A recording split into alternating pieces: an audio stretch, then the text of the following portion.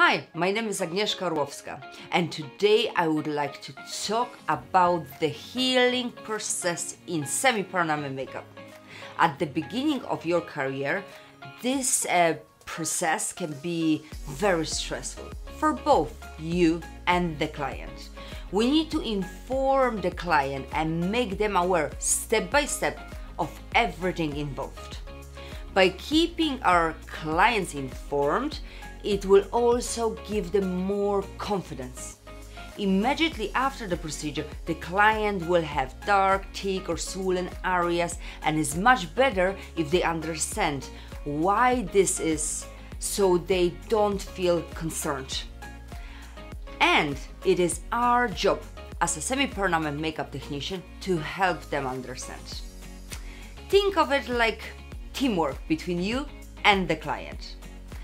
There are three stages to the healing process, but to understand them better, we first need to discuss the lymphatic system. The lymphatic system is there to help um, the body to get rid of toxin, waste, or other unwanted materials.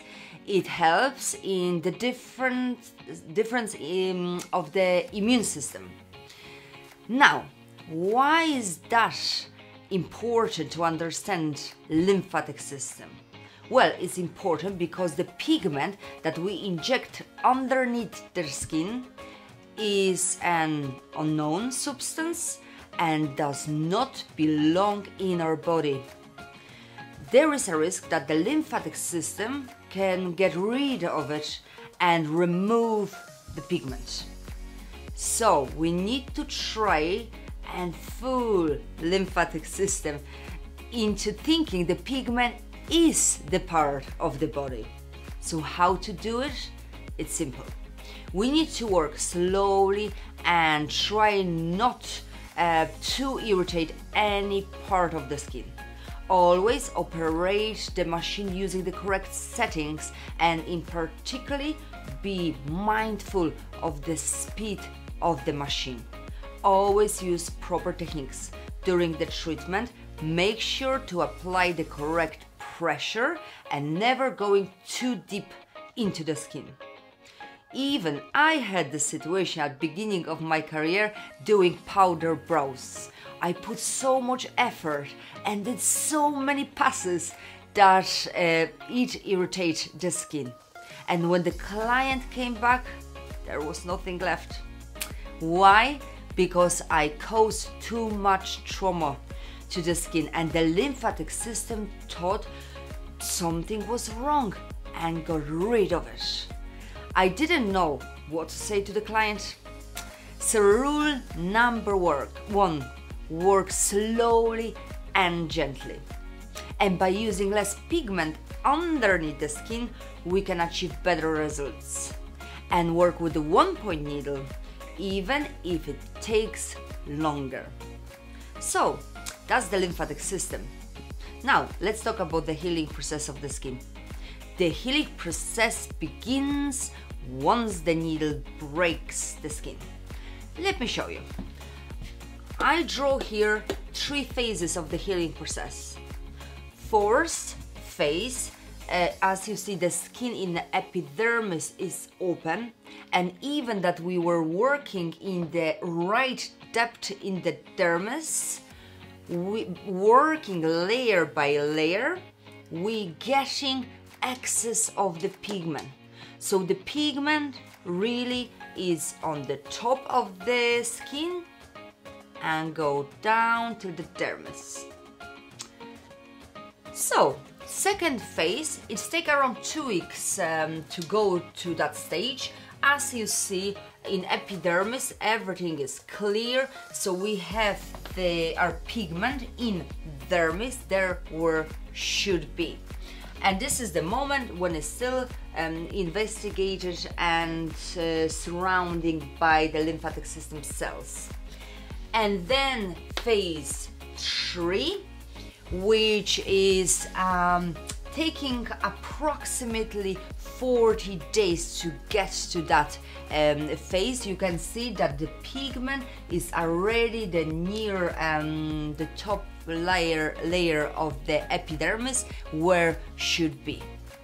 Now to sum up the first stage of the healing process will remove the excess pigment which sits at the epidermis layer of the skin once this happens, after about two weeks, uh, we can see that there is still some pigment under the skin in dermis layer.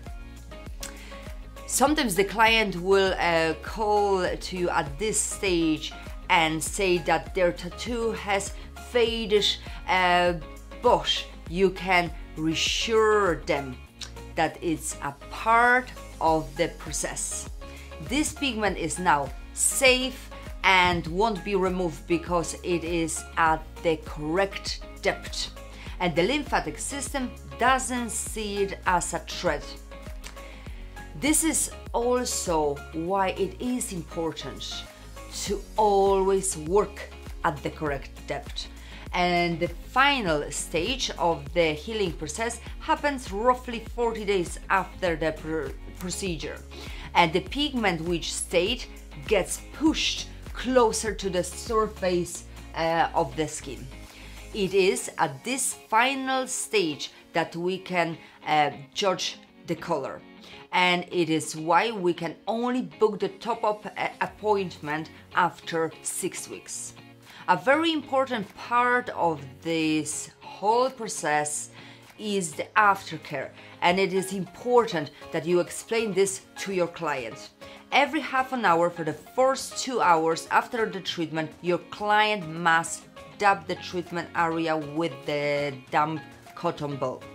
After that, they need to continue dabbing every hour for the rest of the day. This removes um, any liquids that might build up and helps to keep the skin calm and prevent scabbing uh, from forming. This way only the excess pigment is removed. Make sure to keep the um, treatment area dry for the first two weeks, so no creams, gels, Vaseline or cosmetics. If the clients ask why the eyebrows are so thick, remember to tell them that it's simply part of the healing process and the area is swollen and only appears darker and thicker and will go down after a few days. The brows will get thinner and softer and as the pigment gets taken out, it will get lighter. Having this information uh, will keep your client happy and will prevent them worrying about the treatment.